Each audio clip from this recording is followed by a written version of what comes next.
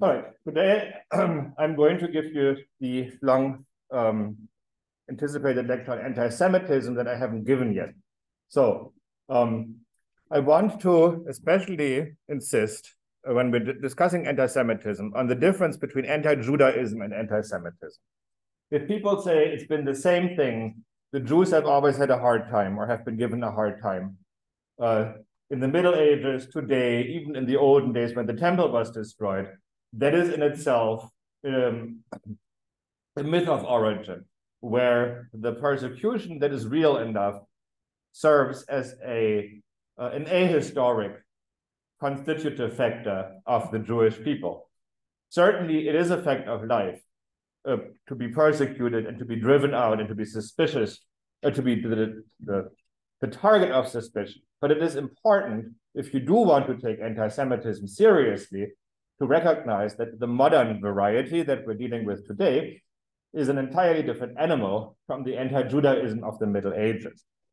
So, one is based on religion, and it is in a time when the racism that is inherent in anti Semitism, where Jews are defined as biologically different on a molecular level, so to speak, on a genetic level, was simply not available to people in the Middle Ages. It is a way of thinking that emerges with modern science and technology as they're being put to work in the service of imperialism, thereby creating real differences in power, wealth, etc., between people uh, in Europe and other continents, between Christians and others, and thereby creates a need a functionality for having ideologies that explain why this these differences created by imperialism are natural, healthy, and good.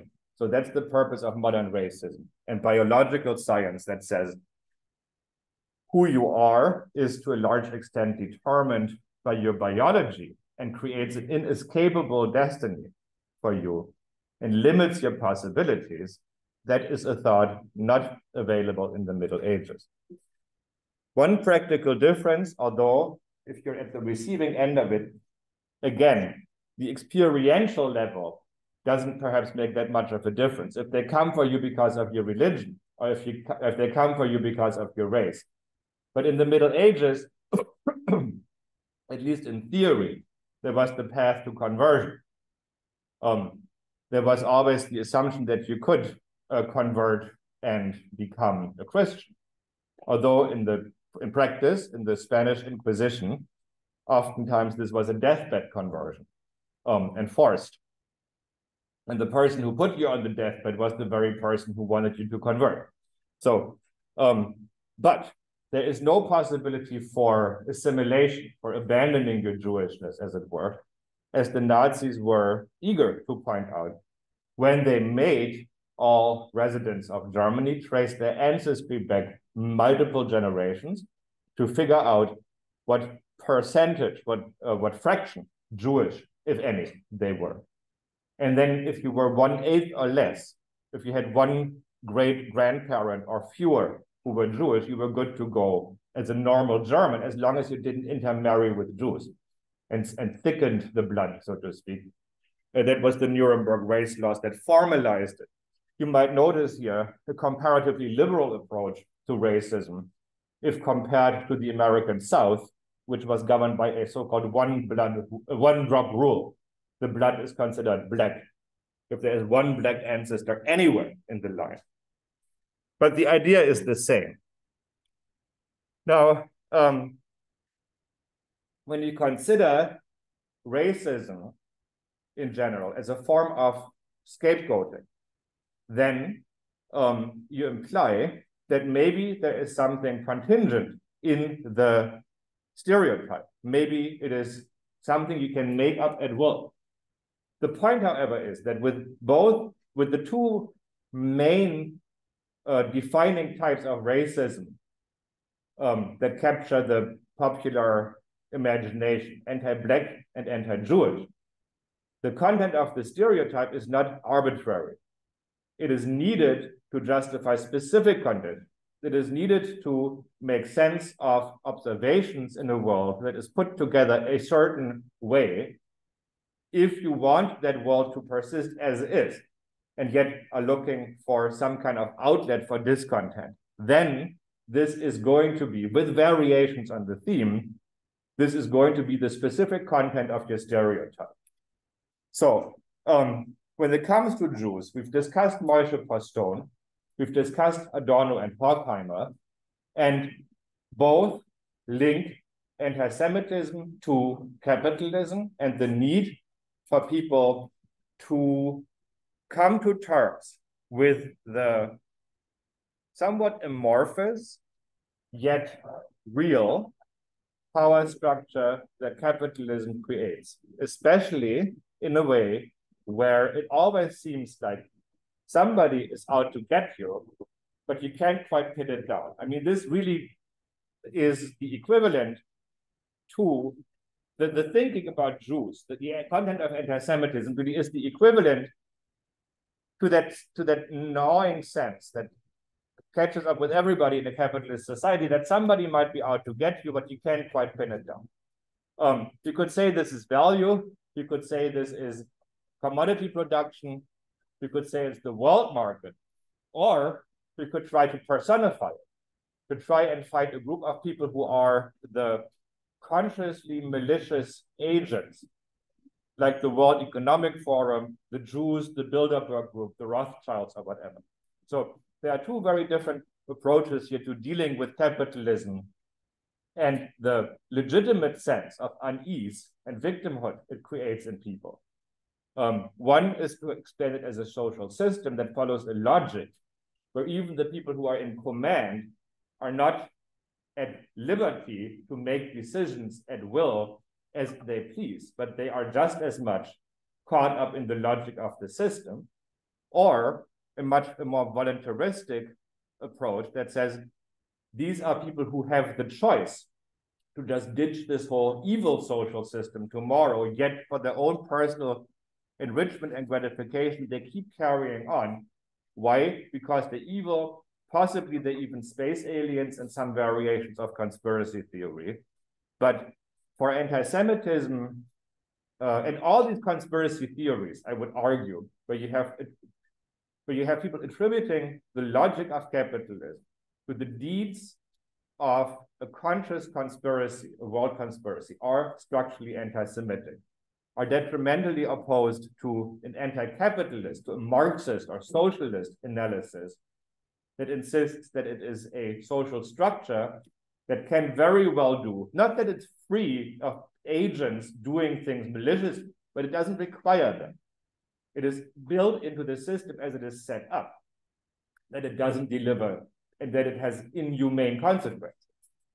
Uh, but it doesn't require a command center of evil people. So if your theory of capitalism requires there to be a command center of evil people, you have a structurally anti-Semitic theory of capitalism. They're both anti-capitalist theories, but they're distinct in that one explains it and the other usually ends up justifying it. So all the stuff here that people think about Jews, and when we read Henry Ford, we saw that he spells it out in his short text on the international Jew and his and the danger that this group poses to America. Um, that they rule the world even though they're weak, they're really inferior. Um, they're not about the concrete. They're not the ones who go out there and fell trees and build railroads. They're the ones who are sitting in a back room counting money, cackling, and then you know referring to a law book to justify why they get to do that. Um, and in a classical move of attributing to your racial other what you're doing, um, the idea that Jews are dangerous because they're racist, because they treat others as less.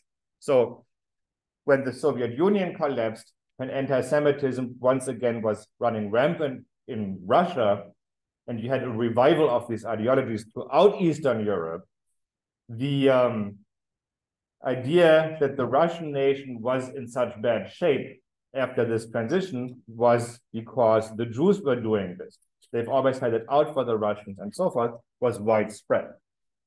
Um, and there were people who would go back to the protocols, this forgery, the protocols of the elders of Zion, to say, see here, it says there, um, you can do these things to the Gentiles because they're not like us, they're at a lower level from us. And this, but this, the stereotype is not, like I said, arbitrary. You could not switch it out with another group, as Postone argues. You can't do that. It's the specific position of Jews in relation to the emerging capitalist world market, a story of wrong place, wrong time. But it is also that what the anti-Semite says about Jews applies often in a sick and twisted way to capitalism as a social system, except we now personify it in this group. So if you look at the Middle Ages, certainly anti-Judaism served for stereotyping. It served for, as it were, the consolidation of power, nation making. You could even call it ethnic cleansing. Um, for deflecting blame for catastrophic social events onto a group of outsiders.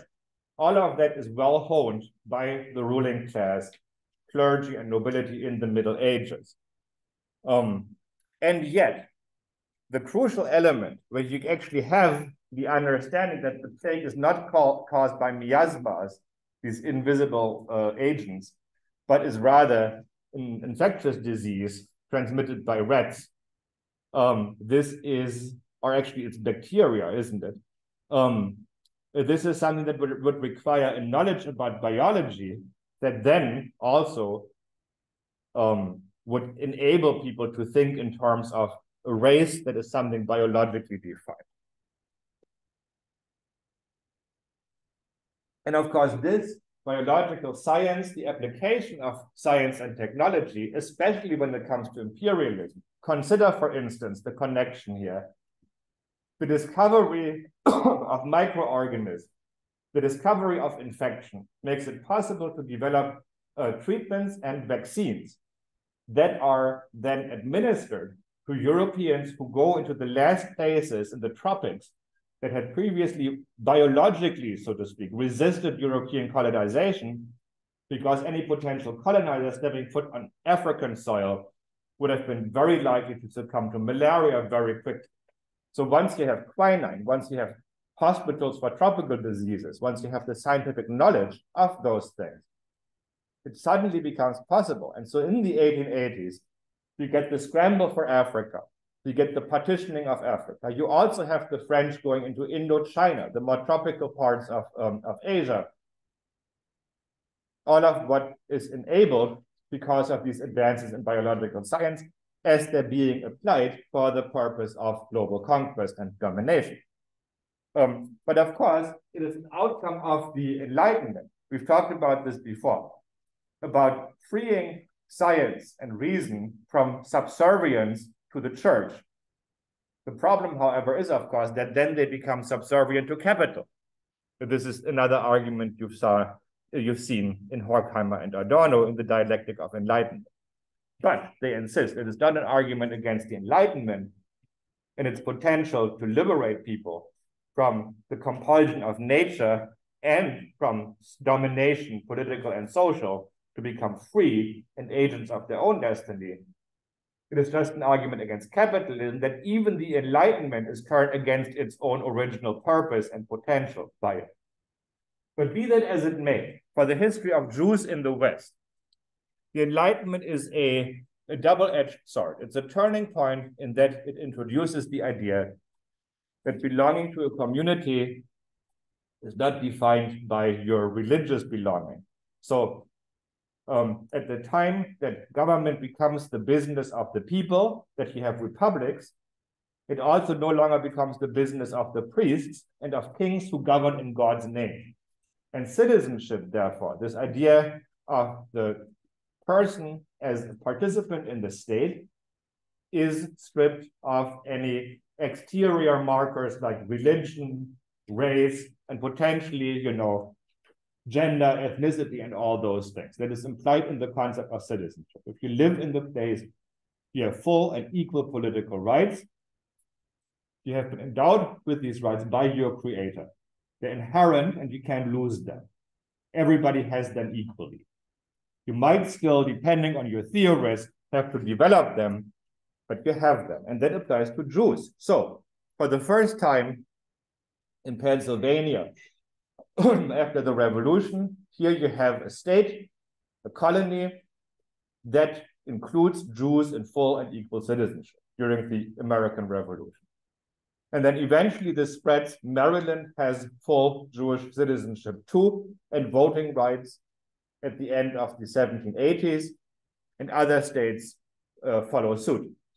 Then in the French Revolution too, citizenship is unlinked from religious um, membership. And of course, uh, there is a tension there, and by the end, um, they don't go back to ha having only Catholics be proper citizens, but even today in France, there is an organization of the Jews of France that plays a semi-official role in the state. So they go back to recognizing religion as something that is a business of the state, but something that you have to protect. And yet that it doesn't limit you in your ability to become, say, an army officer, a university professor, a doctor, um, or a politician. And in the countries where um, Jews are then free to take positions in society, they often end up doing that at the same time as places like France and Britain become imperial powers. So, get a question? Yes. So you're saying that they would receive like certain uh, representation no matter what, or how does that house work for uh, the individuals in France? No, uh, that like as citizens, everybody is just French and equal. Okay. But there is um, a recognition. The, the the Catholic Church has enjoys recognition by the state as an official entity oh. with rights. It's not just a private business of individuals. And in the same way, Jews have that too. Oh. so if you have a concordat between the French Republic and the Vatican, there's something equivalent be between the Jewish community and the French government. Oh, okay. Don't ask me about the details, but that has been going on. And I also don't know, which would be interesting, if the same is true for Protestants in France, for, for Muslims, and whatever else. Um, so the French Republic recognizes that there are religious differences at the same time as saying that this does not in any way shape your um, your rights as a citizen. We talked about the Hep pogroms already, which were um, which happened when Jews took the invitation seriously to settle in places where they had previously been included, excluded, which coincided after the end of the Napoleonic Wars with economic and ecological crisis. Um, you might have heard about the, the year without a summer, um, which caused harvest failure because of a volcanic eruption in Southeast Asia. Um, I think that was in 1816.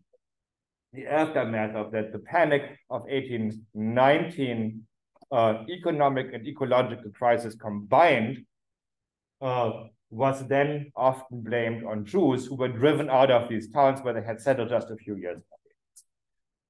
Um, and the emancipation of Jews in Germany after 1815, after the Congress of Vienna, was half-hearted anyway, because the mayor of my hometown, uh, Johann Smidt, that insisted in changing the language in the, in the closing document from Jews get full rights in the states of the Germanic Confederation to Jews, Jews get full rights by the states of the Germanic Confederation, making it not mandatory but discretionary. And many states use that to not give Jews full rights.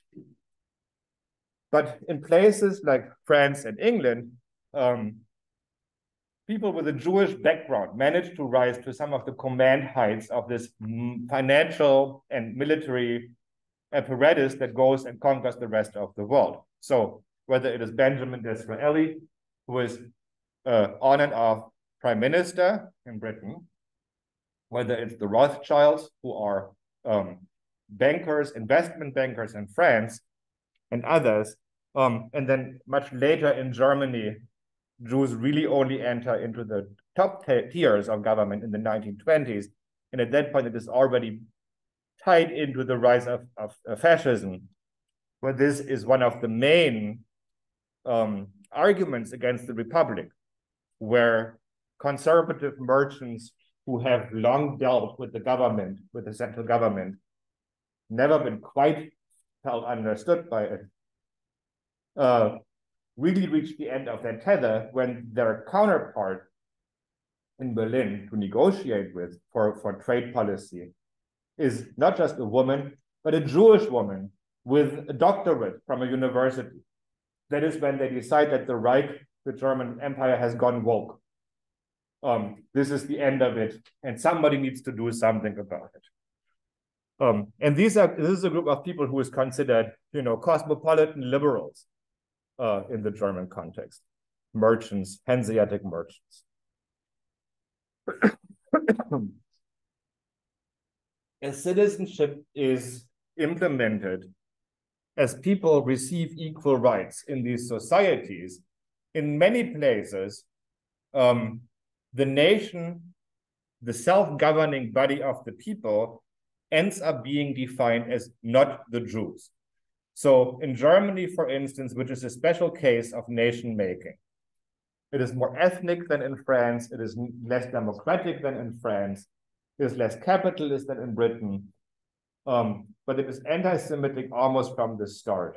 And one of the leading representatives of German intellectuals who provide the justification for the German Empire as a nation state is the historian Heinrich von Treitschke, who writes a well-received and famous essay called The Jews Are Our Downfall, and um, explaining why Germany has to become one in opposition to Jews.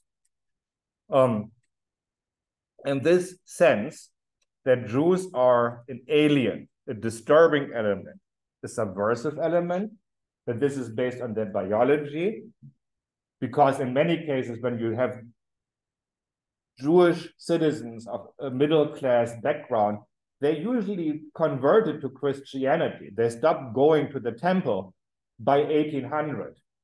Um, they don't necessarily see themselves as Jewish, religiously speaking, um, but certainly the anti-Semites see them as such and won't stop doing that just because they've stopped going to the temple. So um, in these places where these groups mix, where you have upper middle class citizens, um, there you have uh, the first examples of exclusion. The exclusive places like that are, you know, it's they're exclusive anyway because you can only go there if you're rich, like Saratoga and Borkum, the spas in Germany and in uh, upstate New York. Um, and then later on, it goes down the ladder. It goes to the tennis club the country club. It goes to the public pool and the public park. Um, certainly, it extends to the universities, attending which is an essential prerequisite for having any kind of uh, career in this country. The Jews are told this is not for you. So um, in 1867 or 69, Joseph Seligman, the banker, who was almost single-handedly responsible for American success in the Civil War, for Union success, for selling the war bonds, is the guy who is first told in Saratoga, you can't come here anymore. You've been attending here for 10 years, 10 summers, but this is it. And even France, where uh, in Europe at least, Jewish citizenship was first a, a thing. A hundred years after that, you get the Dreyfus affair, uh, which we previously discussed, where a member of the French general staff is accused of treason, is accused of selling the building plans, the blueprints to the French military fortifications on the border with Germany to German military intelligence.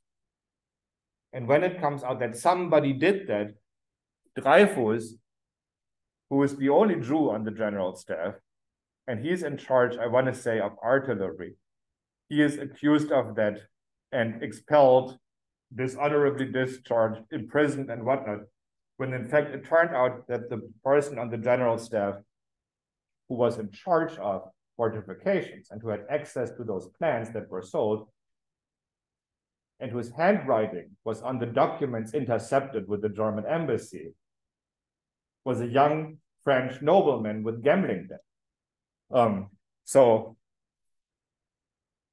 and yet the, the Catholic right-wing French press never stopped saying and believing, presumably, that Dreyfus did it, that the Jew must have done it.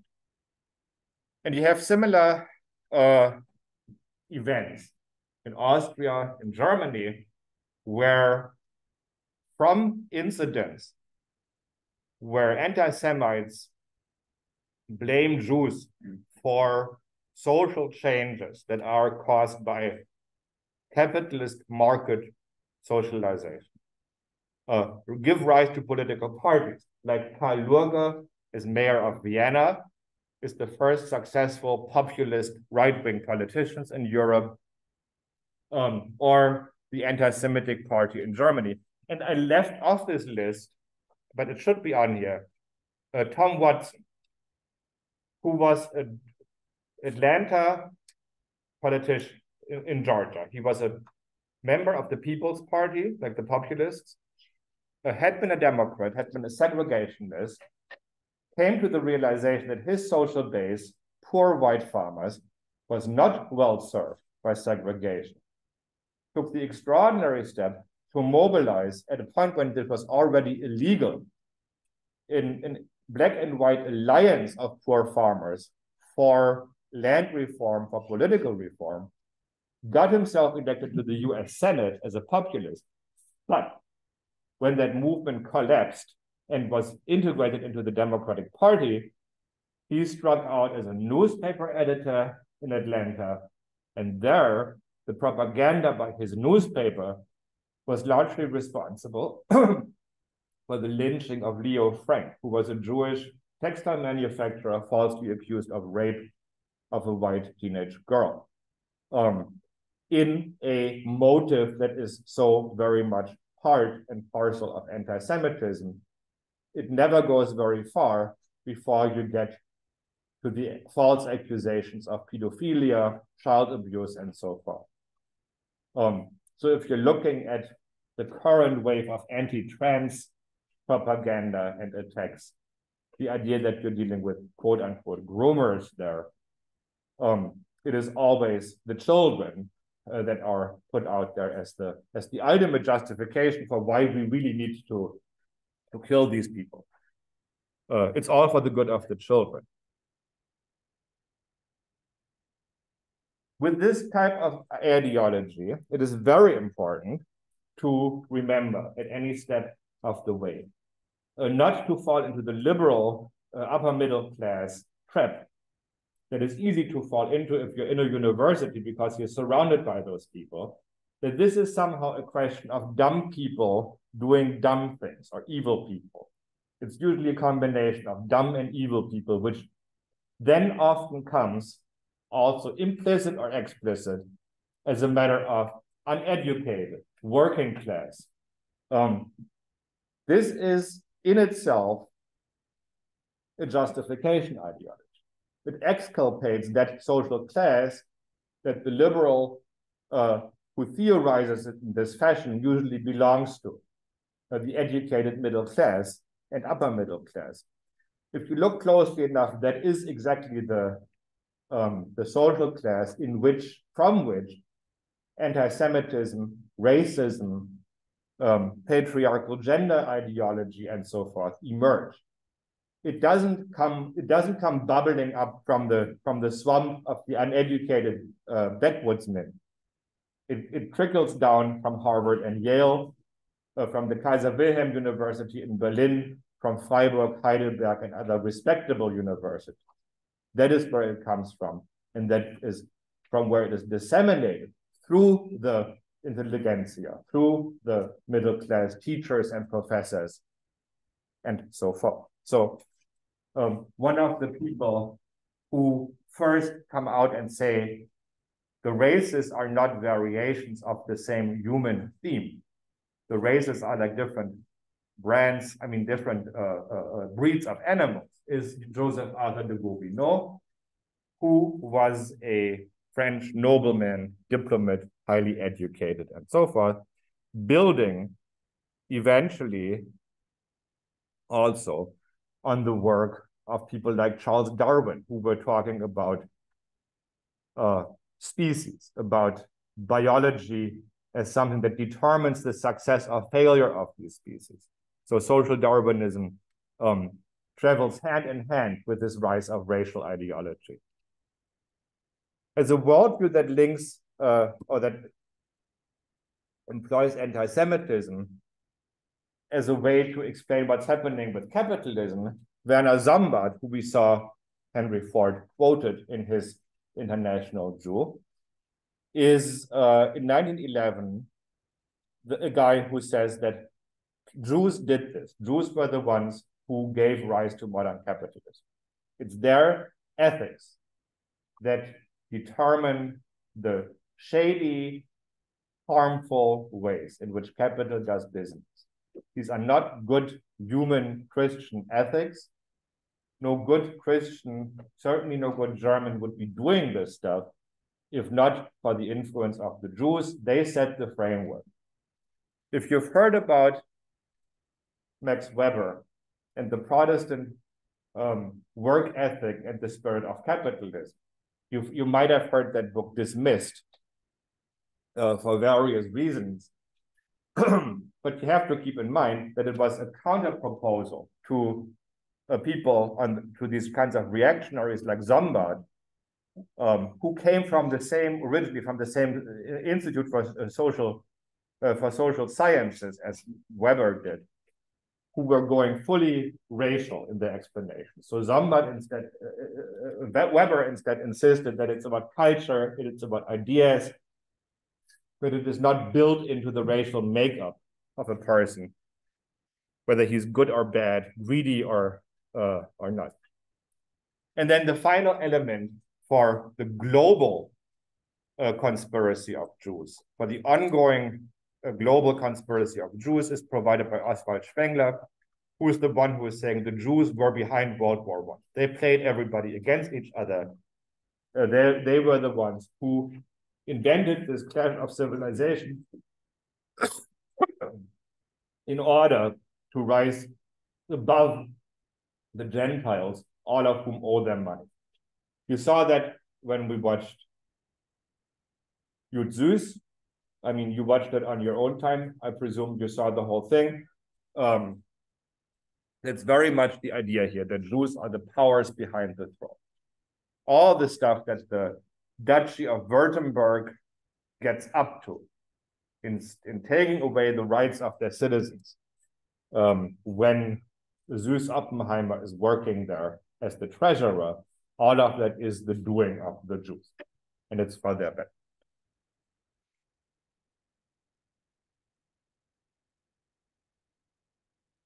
So once you have all these elements of anti-Semitism in place, what you end up with is an internally coherent, if of course not correct, um, not accurate explanation for why the world is this way.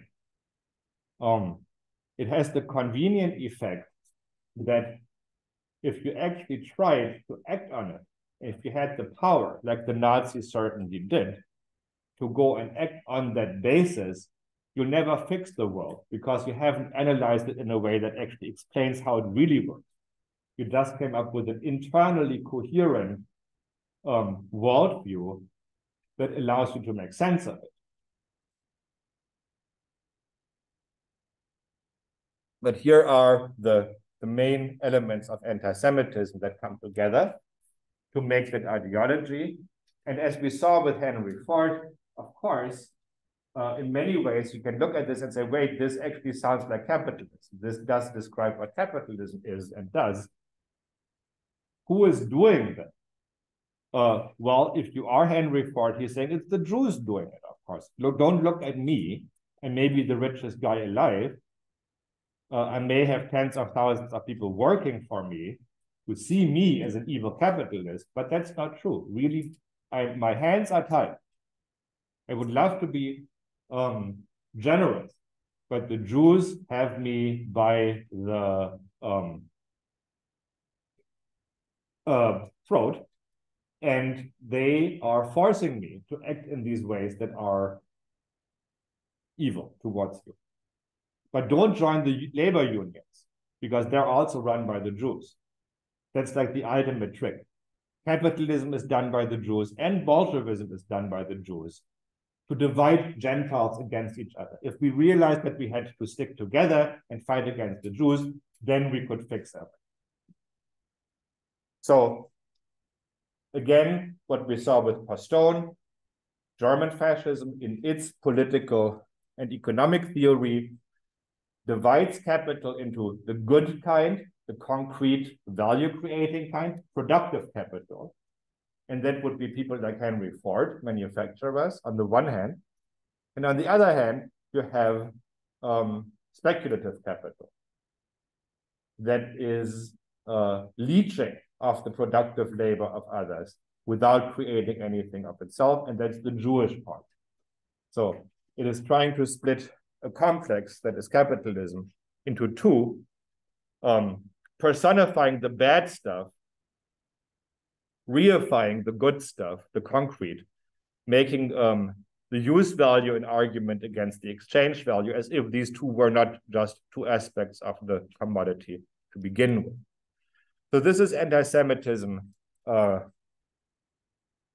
and its relation to anti-capitalism or capitalism. So it is a mistake just to point this out too, to say that all anti-capitalism is um, structurally anti-Semitic. That would be a mistake.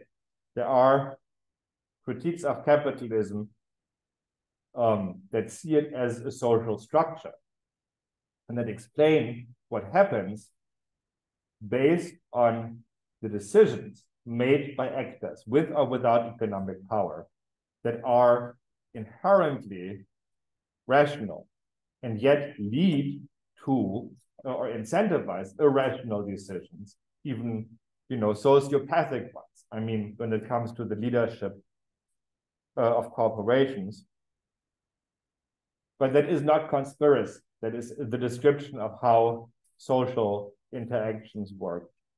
It's a sociological theory of how the capitalist economy works. It doesn't require, in other words, the assumption that there is an actor that is bad or evil, that is like um, an external uh, conspirator. So these are two different types of, of theories of, of, of, of capitalism. The lecture has a few more slides here where I also wanted to talk about the, the Muslim world because in many cases, when we talk about anti-Semitism today, um, it comes, at least it came, the Islamophobia has kind of taken a backseat to the transphobia right now. Um, but it came uh, with an association with Palestinians, perhaps with Al Qaeda. So it seemed worth it going into the history of anti Semitism in the Muslim world, which, as it turns out, doesn't really exist. Uh, there is not a whole lot of anti Jewish uh, or anti Semitic sentiment in the Muslim world until the 19th century. What there is tends to be imported uh, from the West, and it comes to the Middle East either through intellectuals, Muslim intellectuals who've, who've gone to school in Paris, London, Berlin, or New York, um, or on the radio waves, uh, like German shortwave radio broadcasting into North Africa and the Levant in 1941 to 1943, um, telling Arabs that they should rise up and throw off the British yoke because the Jews stand behind them. But um, we are out of time, and therefore I will not be